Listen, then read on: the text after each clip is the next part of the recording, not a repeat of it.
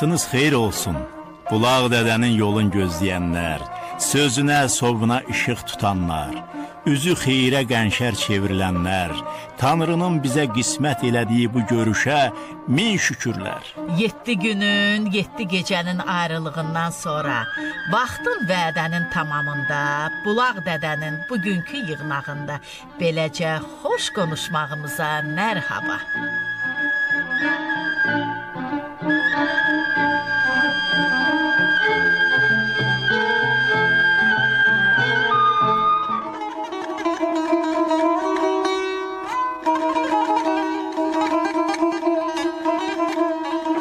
Yurda söykək ağsaqqalların sözüdür.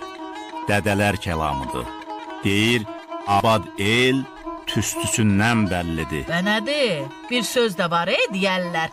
Hər kəs öz evinin qibləsin özü bilər. Öz əgər əysiyi özünə bəlli olar. Vaxtında tədbirin görər. Tədbirli adam bu günün işini sabaha qoymaz. Beləcə bir elin abadlığı, abadanlığı hər evdən, hər ocaqdan başlar. Eviniz abad, işiniz avand olsun. Amin.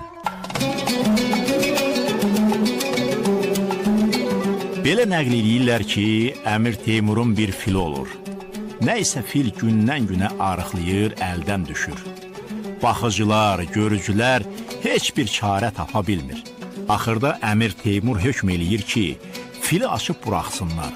Kim fili incitsə, dar ağacından asılsın. Fil hara gəldi gedir.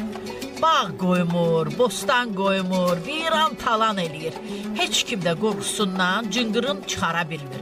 Axırda camaat cana doyub bir neçə ağsaqqalı əmirin yanına göndərməli olur ki, camaatın dərdini Əlahəzrətə desin.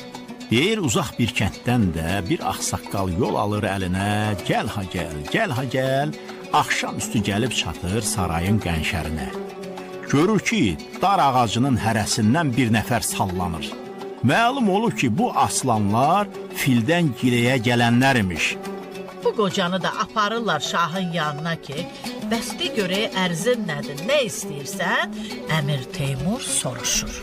Kişi, fil sizə ziyanlıq zad verirmi? Qoca cavabında qayıdır ki, Şah sağ olsun, bu nə sözdür? Mən gəlmişəm sizə çatdırım ki, Bu fil erkəkdir. Özü də tək qalıb darıxır. Yanına bir dişi fil qoşulsaydı, darıxmazdı.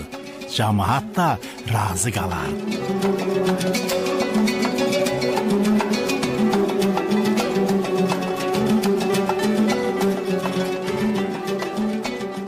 Bir söyləmə, bir rəvayət.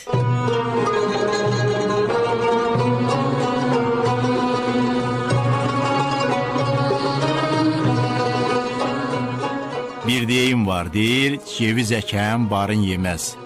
Bu nədir, nə mənədir? Ceviz gec başa gələn, gec meyvə gətirən bir ağacdır. Bu söz ona görə deyilib. Odur ki, ceviz ağacını əkən səbirli olmalıdır. Bu səbəbdən də çox vaxt ceviz ağacı əkməyə meyl olmaz. Deyir bir məmləkətdə, heç bir həyətdə, bağda, bağçada bir dənə də olsun ceviz ağacı yoxmuş. Bir gün padşah fərman verir ki, kim mənə öz həyətindən ceviz gətirsə, hər say cevizə bir qızıl onluq verəcəm. Odur ki, yolların qırağında, həyətlərdə, bağlarda, bağçalarda o qədər ceviz ağacları əkilir ki, gəl görəsən. Vaxtın vədənin tamamında ağaclar bir bar gətirir. Bir bar gətirir, daha nə deyim? Hər yerdən padşaha pay, seçmə ceviz gətirilir. Hərə də bir ceviz dənəsinə bir qızıl almaq ümidi ilə üz tutur padşah sarayına. Hə, padşah gələnlərin qabağına çıxır, ürəyi dağa dönür. Ay camaat, qızıl sizin mənə gətirdiklərinizdir deyir. Di qayıdın öz yerlərinizə. Barxananızdakı qızıllar sizi xoşbəxt eləməyə çatar. Hə, istəylilər. Camaat vəziyyətin nə yerdə olduğunu anlayır. Hamı sevinir. Tanrı hər birinizi sevindirsin. Ağıllı padşahı, zəhmətkeş insanları olan məmləkətlər basılmaz olar. Xəzinə qızıl, gümüş, bar bərəkətlə dolar.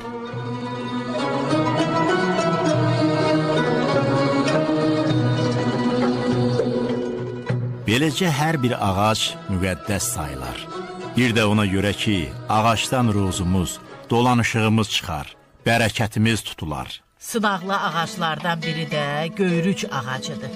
Gümüşü rəngdə qollu budaqlı ağacdır. Allah əksi eləməsin, meşələrimizin yarı yaraşığıdır. Cavan göyrüc pöhrələri yaba, bel sapı üçün çox yararlıdır. Özü də sınaqlı olduğundan bar-bərəkət gətirər. Sınaqlı ağaclardan biri də dağdağandır. Dağdağan sarp yerlərdə çox bitər. Körpə uşaqların bələyinə dağdağan ağacından balaca bir parça tikilər. Onda uşağa göz dəyməz. Dağdağan pis, yaman gözləri qaytarar. Dağdağan ağacları bitən yerlər ziyarətgaha çevrilər. Camaat inanc gətirər, dehin eləyər, arzusu başa varar. Ziyarət yerlərində dağdağan ağacının budaqlarına pal-paltar, çit əski şal bağlayarlar. Bu da əski inanclara söykənər. Ağac çox qədimlərdən insanın yol yoldaşıdır. Dünyanın o başından üzü bəri yol gəlir. Ən qədim alətlər də, silahlar da ağacdan düzəldilib. Qaraca çobanın sapandını nə öyərsən mərə kafir, əlimdəki çomağımca gəlməz mənə deməsi insanın ağacla yaşıtdığına, qardaşlığına işarədir.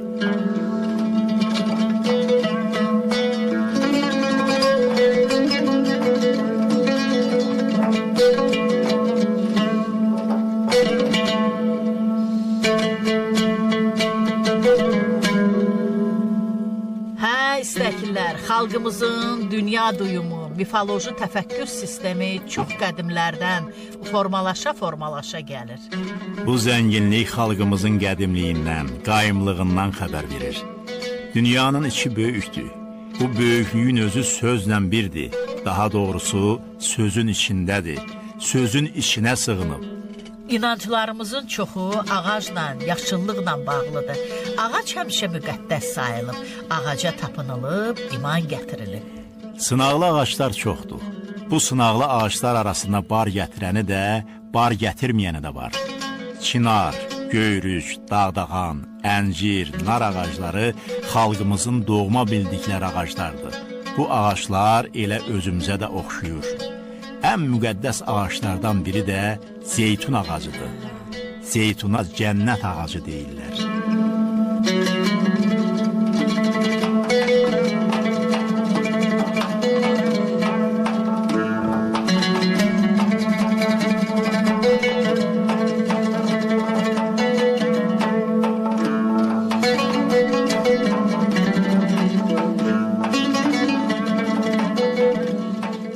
Uluca-uluca ozanlardan Oba-oba gəzənlərdən, Aşıq Abbas Tufarqanlıdan daha bir yarpaq.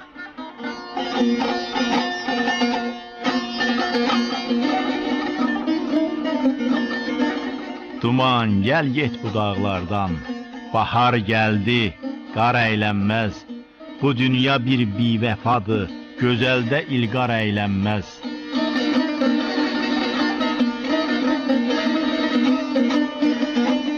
Gözəlin qaşı qaradır, bayquşun meyli haradır.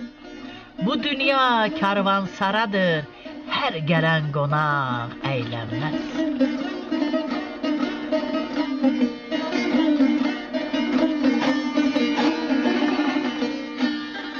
Abbas deyər hac olanda, Kəbəyə meyrac olanda, doğru yoldan gəc olanda, namus gedər, ar əylənməz.